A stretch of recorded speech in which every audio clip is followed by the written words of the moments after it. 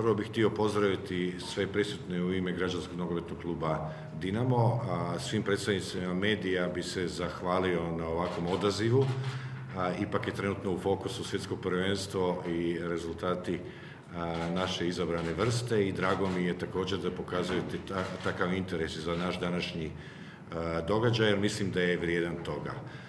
Zašto kažem da je vrijedan toga? Zato što Dinamo sa Lana Grupom i Lana Karlovačkom tiskarom surađuje više od 15 godina i ove godine ili ovo ljeto smo se prepoznali da bi mogli taj, tu suradnju proširiti, da bi mogli napraviti jedan značajan iskorak, a to je da potpišemo današnji ugovor o generalnom sponzorstvu i da nam Lana grupa bude na našim prsima.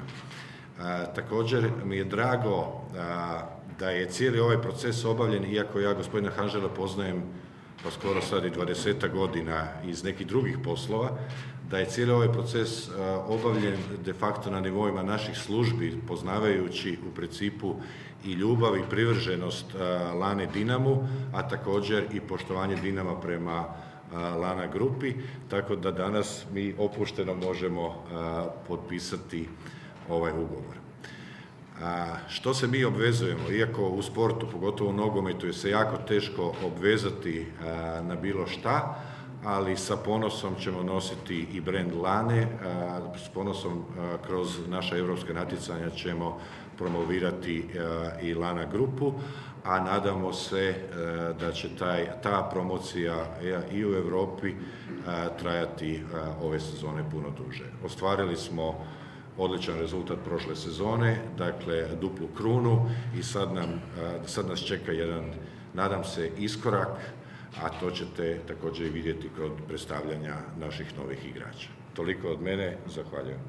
Hvala gospodinu Kožumanu, a sada molim gospodina Hanžela da nam kaže nešto o suradnji sa Dinamom i da nam predstavi na drugu. Sve zajedno pozdravljam i zahvaljujem se upravi Dinama da mi je omogućio da produžimo naše ugovore. Dinamo je moja jedna velika ljubav, kao što je moja Lana Karlovačka tiskara, koji nosi ime moje kćeri, ovdje prisutne.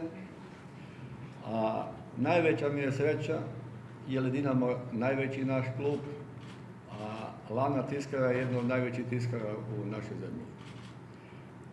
Najveći smo proizvođač uputa za farmaceutsku industriju, vama za informaciju treći u svijetu.